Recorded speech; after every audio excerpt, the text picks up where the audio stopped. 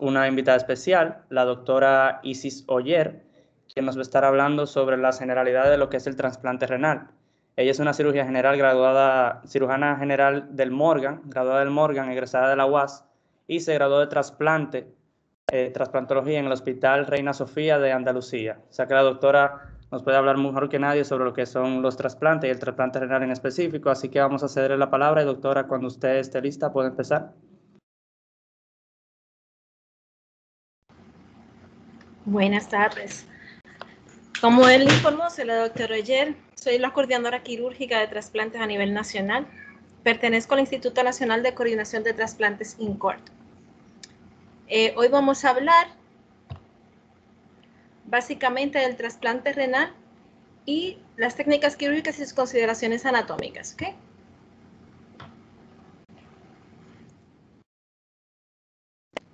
Para empezar, vamos a hablar de la insuficiencia renal, que es lo que nos lleva a la parte importante, que es la realización del trasplante. La insuficiencia renal crónica es un problema de salud mundial, como todos conocemos, cuyas manifestaciones graves son las que llevan al paciente a requerir de una modalidad terapéutica, en un caso principal hemodiálisis, y como una, otra, un tratamiento que es el trasplante, que es a su vez la modalidad terapéutica sustitutiva por excelencia y que mejora la calidad de vida del paciente en, estadio terminal.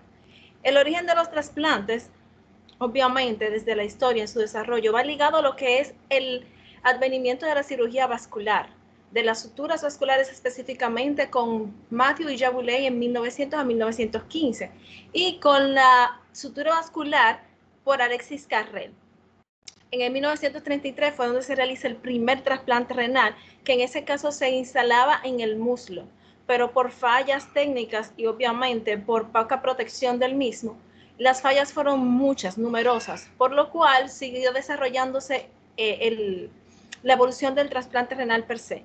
Y no fue sino hasta 1954 donde se realiza el primer trasplante en Boston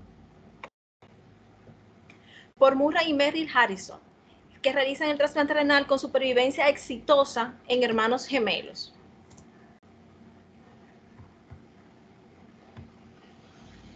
Entonces vamos a pasar directamente a la selección de los pacientes.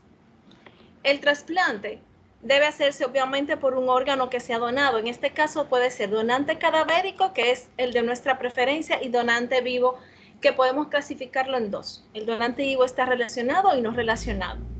Obviamente relacionado es un donante familiar, mientras que el no relacionado es un donante que puede ser compatible o no necesariamente familiar. Hablamos de donante cadavérico cuando el donante cadavérico debe estar conectado a una máquina de ventilación mecánica en una unidad de cuidados intensivos, bajo todos los lineamientos necesarios de hacerse anticesia para poder convertirse en donante. No son donantes simplemente al azar. Al igual que el donante vivo es un familiar o no familiar ha sido evaluado exhaustivamente. Vamos a hacer en estos pacientes, se realizan diferentes tipos de extracción. Las extracciones son las extracciones multiorgánicas que se realizan en pacientes en donantes cadavéricos, cadavéricos solamente, mientras que la nefrectomía laparoscópica asistida, la totalmente laparoscópica, la nefrectomía retroperitoneal abierta total se realiza en donantes vivos. Para la extracción multiorgánica, primero necesitamos la selección del donante. En este caso, como dije anteriormente, vamos a hablar de un donante, un cadáver, porque automáticamente hay muerte cerebral, es un cadáver. A ese cadáver se le hacen todos los criterios de selección. ¿Cómo? Se le hacen pruebas para determinar que realmente esté muerte encefálica, se le hace doble transcranial, se le hace encefalograma y se le hacen todas las pruebas de laboratorios al lugar para evitar la contaminación del órgano y por ende la contaminación del receptor. Se le hacen serológicas, se le hacen químicas, se hace infiltración glomerular, se hacen em, sonografías verificando si existe alguna anomalía que podamos detectar antes de la extracción. Y se hace se evalúa para poder realizar el traslado luego a quirófano. Cuando hablo del traslado a quirófano es importante hablar del traslado a quirófano porque estos donantes al no tener la función cerebral activa, no tienen cómo regular lo que es la temperatura y los movimientos, por lo cual puede haber caída brusca de todas las funciones y por lo tanto en el transporte, si no lo hacemos de manera adecuada, podemos perder el donante antes de llegar a la sala de cirugía. La posición es de cúbito supino. Vamos a tener un donante acostado en posición de cúbito supino, donde vamos a hacer una incisión sifopúbica, desde la sínfisis hasta el pubis. Y vamos a abrir, lamentablemente el término que voy a utilizar no es el mejor, pero vamos a abrirlo como si fuera un libro, literalmente, donde vamos a exponer no solamente la pared abdominal, sino vamos a, a exponer también la parte torácica en caso de que tengamos extracción de órganos múltiples, como es este caso, que extraigamos corazón, pulmón, riñón, hígado e intestinos en algunos casos que hemos podido extraer. Vamos entonces a proceder a la exposición de los vasos. Obviamente vamos a avanzar hacia el retroperitoneo moviendo, moviendo lo, medialmente lo que es el colon derecho para abordar la aorta abdominal y en la bifurcación de las ilíacas y también la esqueletización de, las, de la vena cava inferior. ¿Por qué esto? Porque a través de estos vasos es donde haremos la canulación. La canulación es a través de la cual vamos a pasar las soluciones de preservación, que al final es lo que nos va a dar la viabilidad del órgano. Es importante que aunque todo lo demás haya dicho que los órganos se encuentran en buenas condiciones, cuando entramos al paciente es cuando vemos realmente si el órgano es viable o no. Porque en algunas ocasiones no se ha reportado ninguna anomalía en estudios realizados en los donantes, pero cuando abrimos encontramos a veces riñones poliquísticos, riñones en herradura, aunque la función está dentro de límites normales. Así también el hígado, a veces tenemos funciones hepáticas dentro de límites normales y cuando, cuando entramos encontramos un hígado totalmente graso el cual en ocasiones nos impide realizar la extracción del mismo. Cuando hacemos todo esto, que es que necesitamos los vasos renales, en este caso que nos interesa, vamos a proceder a la insuflación de las soluciones de preservación previa colocación de parina y manitol para verificar la función del riñón. Cuando hacemos todo eso, entonces simplemente completamos la nefrectomía haciendo la extracción y sección del riñón, que puede ser en bloques o puede ser unilaterales. Podemos sacarlo, riñón derecho primero, riñón izquierdo después, o viceversa. Y podemos hacer, o podemos hacerlo en bloque, donde sacamos el segmento, el eje aorto-ilíaco, al igual que de vena cava inferior, y podemos hacer la extracción del mismo en bloque y luego podemos hacer la solución de preservación o preservar el órgano en el trabajo de banco, del cual hablaré más adelante. Un momento. Uy, perdón. Señores, perdónenme que esto es tecnología en mano aborigen. Vamos a hablar de, de las, hablamos anteriormente de la nefrectomía, en este caso de extracción multiorgánica, hablaremos ahora de la nefrectomía laparoscópica asistida. Como su nombre dice, es asistida a través de una mano. Entonces, esta solo se realiza en donantes vivos, como dijimos anteriormente. Debe realizarse preevaluación exhaustiva del donante. Recordemos que el donante debe ser un paciente completamente sano, sin comorbilidad, porque el hecho de ser donantes per se nos indica que no podemos poner en riesgo la vida del, del paciente. Si existe riesgo en la vida del donante, automáticamente se descarta la misma. Por eso requerimos imágenes y estudios diagnósticos, en este caso, la angiotomografía del abdomen y pelvis, como podemos observar en esta imagen, donde vamos a tener la relación de los vasos en relación al riñón, si existe o no colaterales. En este caso, aunque se ve ahí, eso no es una polar, eso simplemente es parte de la suprarrenal y vemos la viabilidad y bifurcación de las arterias, si hay bifurcación de las arterias tempranas, si hay arterias dobles, porque esto nos dice exactamente qué riñón debemos tomar y si en caso de, si existen muchas anomalías, si realmente vale o no la pena considerarlo como donante, aunque el paciente esté completamente sano. Este paciente obviamente se va a colocar de cúbito lateral, va a depender del riñón que vayamos a sacar, si es de cúbito lateral derecho o de cúbito lateral izquierdo se colocan los puertos en donde el puerto de la mano asistida es el primero que se coloca o el primero que se incide y es a nivel del ombligo de línea media hacia la línea eh, axilar de acuerdo hacia dónde vamos a sacar el órgano, si es a la derecha, si es el derecho a la derecha, si es el izquierdo a la izquierda. Ok, luego colocaremos los puertos de la cámara, que es eh, básicamente en la, en la pelvis, en línea media, por debajo de la, de, del de la mano, y vamos a colocar un puerto a nivel eh, del sigfoides, que es donde vamos a tener la cámara. Entonces, de aquí vamos a hacer la exposición de los vasos renales, vamos a abordar eh, retroperitoneo, vamos a movilizar el colon izquierdo, vamos a hablar en el izquierdo este, en este lado, vamos a movilizar el colon izquierdo hacia, el, hacia la línea media. ¿Por qué hablo del colon izquierdo y hablo del riñón izquierdo preferente al derecho? Primero por la longitud de la vena, que es lo que nos da un poquito más de trabajo cuando vamos a hacer el implante. Y existe menos maniobra porque no tenemos el hígado que nos está estorbando un poquito, por así decirlo, para poder hacer la extracción de manera un poco menos cruenta para el paciente. Entonces llevamos el colon hacia la línea media y empezamos la disección. ¿Qué ventaja tenemos aquí? Que como tenemos la mano del, del cirujano, de uno de los cirujanos o ayudante en este caso, va a retraer el riñón y va a retraer los órganos de manera que nos va a facilitar un poco más la manipulación de los órganos. ¿Qué pasa con la extracción y la exposición de los vasos renales?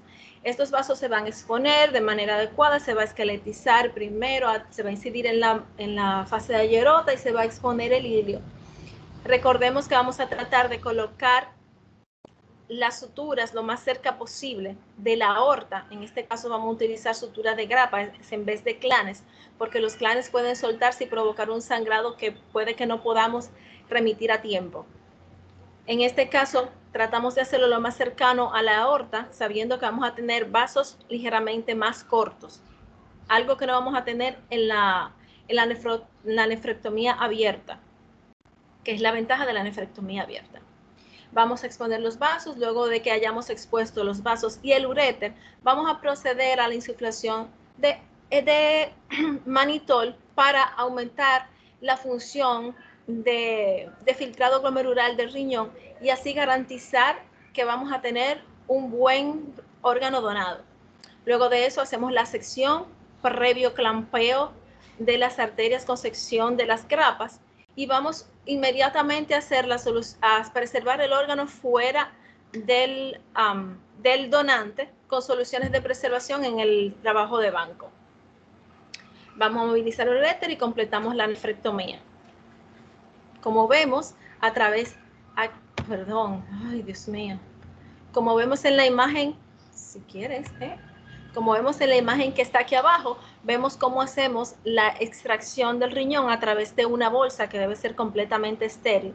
Y luego pasamos inmediatamente a colocarlo en la solución de preservación y en las soluciones frías.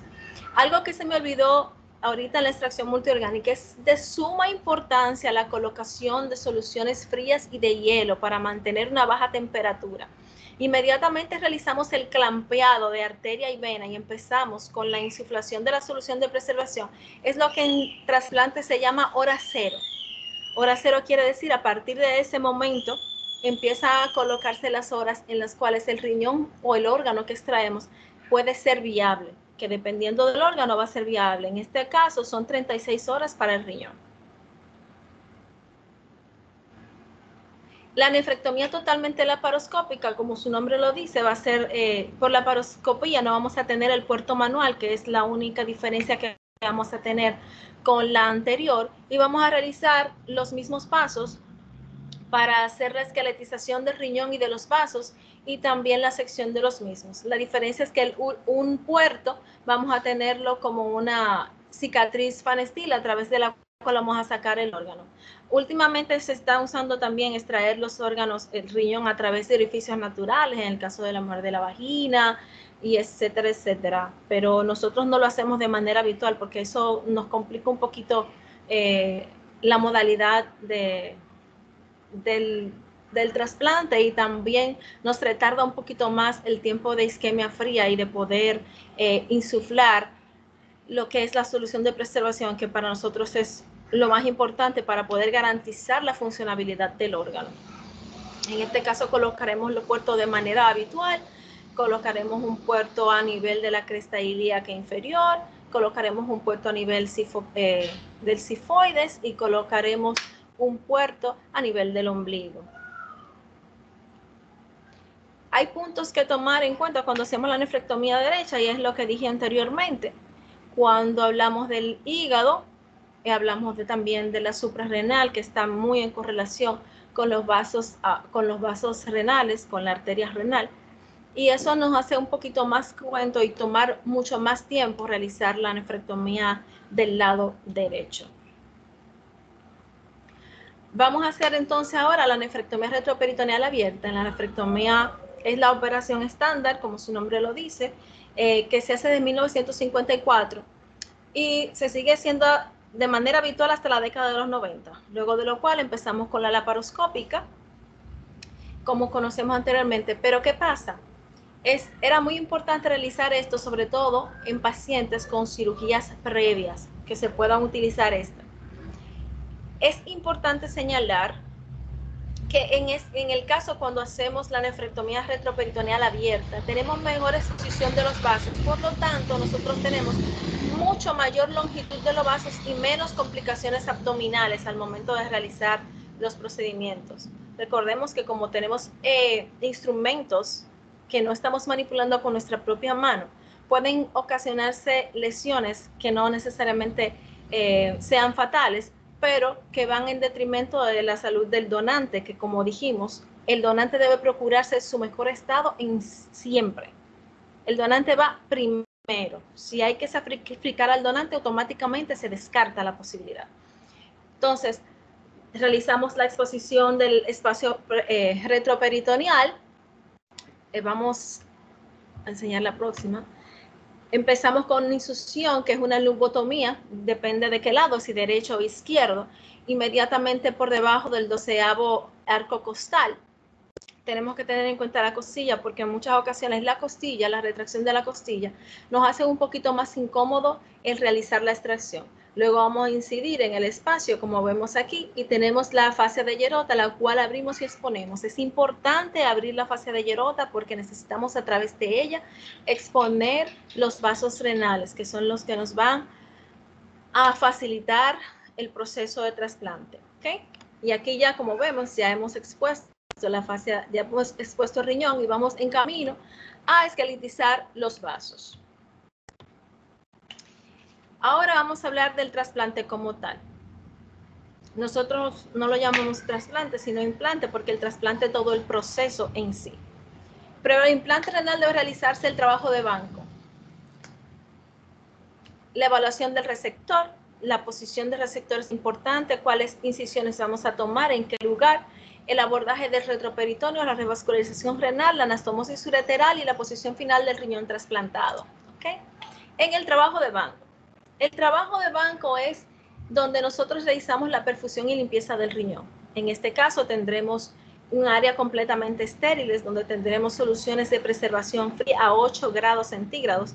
Tendremos diferentes soluciones de preservación de acuerdo al órgano a trasplantar. En caso de riñón utilizamos custodiol o eurocolins, que tienen un diferente gradaje de nutrientes, que eso ya es otro tema muy amplio para explicar. Y procedemos a hacer la limpieza del riñón. Recordemos que mientras menos tejido extraño tenemos, menos rechazo podemos producir y menos la dosis de inmunosupresión que necesita el receptor para poder mantener ese órgano. En el trabajo de banco realizamos las reparaciones tanto de arterias, venas, fugas, eh, ligadura de algunos linfáticos en caso de que podamos visualizarlo para evitar el linfocele, que es una de las complicaciones principales de un trasplante. Aquí utilizamos suturas, microsuturas, obviamente, de suturas de 6,0, 7,0 y hasta 8,0, dependiendo la longitud y el diámetro del vaso. También en este caso tomaremos las biopsias. Las biopsias se toman casi siempre, pero en el caso de que sea un donante de criterios ampliados, se debe tomar de manera habitual. Lo que nosotros llamamos de criterios ampliados, en este caso, para nosotros aquí en República Dominicana son todos los pacientes por encima mayores de 50 años, porque tenemos factores eh, mórbidos agregados como son la hipertensión, la diabetes, etcétera, etcétera. Todos aquellos que tengan eso se consideran criterios ampliados.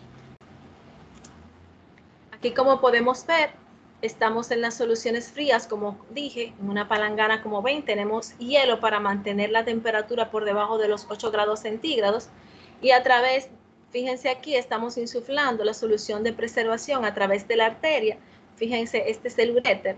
Y vemos cómo aquí estamos haciendo la disección y la esqueletización tanto de los vasos como del uréter. Recordemos que no podemos esqueletizar el uréter sin quitarle toda la grasa periureteral porque entonces el uréter tiende a necrosarse. Y recordemos que en la grasa periureteral es donde, transcurren los vasos del uréter.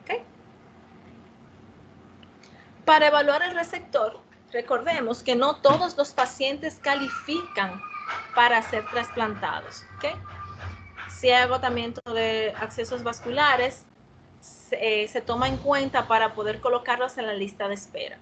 En la lista de espera vamos a tener diferentes criterios que lo que van a dar el puntaje para ver cuál va primero y cuál es el que debe ser eh, trasplantado de manera inmediata. Va a depender de los años en diálisis, de la cantidad de accesos vasculares, del tipo de sangre, de la edad, de muchos factores, que ahora mismo no es el, tema de estudio. Vamos a hacer los estudios laboratorios correspondientes, lo que es eh, serológica, lo que es em, las analíticas del lugar. En este caso, recordemos que vamos a hacer para virus y bacterias, vamos a hacer muchísimas evaluaciones. Vamos a hacer del vacilo, del vacilo, del estreptococo también, vamos a hacer de la tuberculosis, del Eisenberg, del herpes entre otros que vamos a mencionar del citomegalovirus. ¿Por qué? Porque recordemos que como vamos a inmunosuprimir, cualquiera de estos resultaría oportunista y en el detrimento y muerte del receptor y por lo tanto la pérdida del órgano. Vamos a utilizar también evaluaciones de contraindicaciones, como dije anteriormente. Diabetes, si está descompensado, si el paciente es alcohólico, si el paciente es fumador, son muchas cosas que se toman en cuenta porque nosotros no vamos a sacrificar un donante para que el, receptor decida no llevar la evaluación y el tratamiento que necesita para poder mantener el órgano. Entonces realizaremos imágenes y estudios diagnósticos. En este caso vamos a utilizar la, la angiotomografía sin medio de contraste o podemos utilizar la angioresonancia en estos pacientes que no debemos utilizar medio de contraste para realizar los mismos porque recordemos que como ellos no pueden excretar nada, resultarían tóxicos para el receptor. Se hacen todas las imágenes, Doppler, entre otras cosas, para diagnosticar de que el receptor está en condiciones óptimas para recibir un órgano y que no ponemos en riesgo su vida. La posición del paciente debe ser de cúbito supino. En este caso vemos la incisión en fosa ilíaca derecha en este caso. Y vamos a hablar de que esta incisión se llama incisión de Gibbon. Si vemos que el espacio es muy corto, lo subimos un poquito más y lo ampliamos un poquito más hacia la línea media. A través de esta incisión vamos a abordar por planos anatómicos y vamos a abordar retroperitoneo. Vamos a llevar el colon hacia, eh, vamos a, a entrar en retroperitoneo y vamos a movilizar el colon hacia la línea media y esqueletizar los vasos. Luego de, que esqueletizamos ambos vasos, la ilíaca externa de preferencia es la que utilizamos, se hace la ligadura de los um, de las vasos colaterales y hacemos el levantamiento tanto de la arteria como la vena para luego hacer el implante, el cual vamos a hacerlo de manera término lateral, como podemos ver aquí.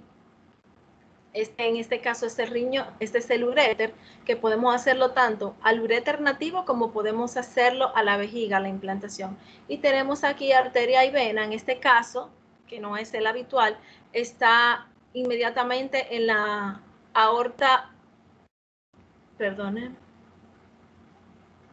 en la ilíaca primitiva, antes de la bifurcación de las ilíacas, en la aorta abdominal y en la vena cava inferior. Esta posición es un poquito mucho más incómoda que si lo hacemos a nivel de los, de los ilíacos externos, que es el de preferencia. Si ven esta imagen, así se supone que queda un receptor aunque los riñones del receptor no son de ese tamaño. Porque no hacemos nefrectomía a los pacientes a trasplantar a menos que no tengan riñón poliquístico o que el riñón autólogo del paciente sea el que esté provocando algún proceso infeccioso que amerite ser extirpado. En este caso tenemos la revascularización. Ya después de completado, vamos a hacer el, el despinzamiento o el desclampaje de la arteria renal y de la vena renal, previa evaluación de fugas. En este caso, cuando hacemos el despinzamiento, si vemos, tenemos la coloración rojiza o rosada, que es la que se procede inmediatamente después de que se revasculiza el órgano. Es importante, hablamos de variaciones anatómicas y cuando hablamos de variaciones anatómicas tenemos que hablar de lo siguiente, arterio, anatomía arterial compleja. ¿Cuándo es arterial compleja? Cuando tenemos polares, tenemos más de una arteria eh, renal, tenemos bifurcación de la arteria renal temprana cuando se producen secciones de manera importante a nivel transquirúrgico y luego tenemos que hacer reparaciones importantes externas para poder realizar la anastomosis y que el trasplante sea de manera efectiva. En este caso, la espatulación simple, cuando hay dos arterias sin parche, cuando hay dos arterias con parche con gran distancia entre orificios y cuando hay tres arterias sin parche. En este caso, dos arterias sin parches, realizamos lo que es una espatulación. Hacemos una incisión en ambas laterales de la arteria y procedemos a la anastomosis de esta creando un solo un vaso único. En este caso tenemos en la doble arteria con un parche donde hay una distancia muy grande entre orificios. Necesitamos entonces acortar esa distancia para garantizar que en ese trayecto no se produzcan trombos y tenemos en caso de que tenemos alguna polar que haya sido eh, seccionada o que es muy, eh, muy pequeña, podemos hacer una anastomosis término-terminal a la arteria renal principal de manera que no se quede ese segmento sin irrigación. Recordemos que las arterias del riñón son terminales. Si hay, existe una polar y es seccionada y es ligada, esa parte del riñón automáticamente se queda sin circulación. En este caso, cuando aparecen tres arterias, Vamos a realizar una espatulación, como dijimos anteriormente, y vamos a, convertir esas tres arterias en una sola. Esto es cuando no tenemos parche. Sin embargo, aquí creamos un parche. ¿Cómo creamos un parche? Esto solamente lo podemos hacer cuando es cadavérico lo de los parches, porque utilizamos parte de la vena, de, la vena cava inferior, y hacemos un parche de manera tal que a través de, lo, de, del segmento o sección de la vena, podemos, como ven aquí la anastomosis, podemos crear un parche de manera que podamos tener una anastomosis más efectiva hacia los vasos eh, ilíacos externos. Si son demasiados, entonces en ese caso sí subiríamos a la ilíaca primitiva o en caso a la aorta abdominal para realizar la anastomosis aquí y garantizar de que no exista ni trombosis ni estenosis de de las arterias, lo que vaya en detrimento del injerto. Obviamente, como todo procedimiento tiene complicaciones, pero decidí que eso lo haremos en otro momento. Muchísimas gracias. Cualquier pregunta, estamos aquí.